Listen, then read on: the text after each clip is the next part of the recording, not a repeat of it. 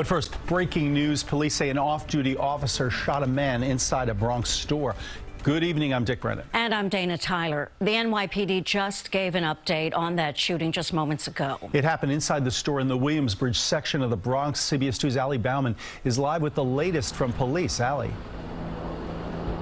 Well, Dick and Dana investigators have a lot of work to do here tonight. Right now, we know that a 30-year-old police officer, a rookie on the department who just graduated from the most recent class of the NYPD, shot a 42-year-old man in the forearm, grazing that man's chest inside the store here, Hollywood Touch of Class. It is a furniture, mattress, and linen store on White Plains Road in the Williamsbridge section of the Bronx. This happened around 3 p.m. Now, officers tell us at that time the off-duty officer who was off duty at the time in plain clothes went into this was inside the store when a 42 year old man came in and was speaking. The two men men got in some sort of dispute, and at some point, the 30 year old off duty officer pulled out his gun and at some point that that firearm was discharged shooting the 42 year old man in the forearm now right now police say they're trying to figure out why the gun went off whether there was some kind of physical uh, you know, exchange as well or if the shooting was justified and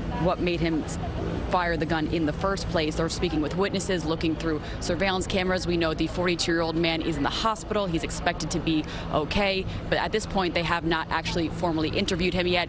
Here's where uh, what police had to say just a few minutes ago.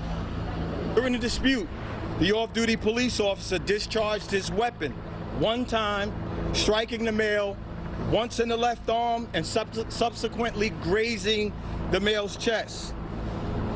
The male was removed to Jacobi Hospital where he's being treated for his injuries.